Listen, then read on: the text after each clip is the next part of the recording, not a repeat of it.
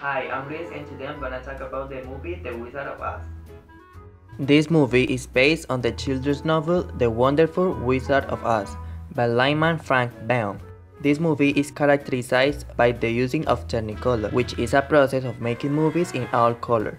It was released in August 25 of 1939, having a terrible box office on his premiere, earning only $3 million on a 2 million budget.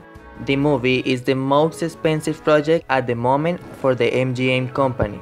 This movie tells the story about Dorothy, an orphan little girl who lives in Kansas with her aunt, her uncle, and her loyal little dog Toto. On a regular day, a tornado hits the house where Dorothy and his family lived, and was the one who transported her and her dog to a magical land called Oz, where she has to find the way to come back home.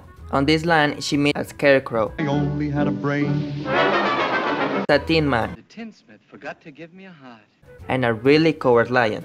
You're right, I am a coward. The four start a journey following a golden road to meet the Wizard of Oz, who is the only who can make Dorothy and Toto go back home. The movie had five directors all along his recording process. They were Victor Fleming, Mervyn Leroy, King Vidor, George Cukor, and Norman Taurog. The cast of the film were Judy Garland as Dorothy, Frank Morgan as the Wizard of Oz, Ray Bolger as the Scarecrow, Bert Lahr as the Coward Lion, Jack Haley as the Tin Man, Billie Burke as Glinda, the Good Witch of the North, Margaret Hamilton as the Wicked Witch of the West, Charley Grapewin as Uncle Henry, and Clara Blandick as Auntie Em. The Wizard of Oz was nominated on six categories at the Oscars, winning two of them for Best Soundtrack and Best Original Song for Over the Rainbow. Over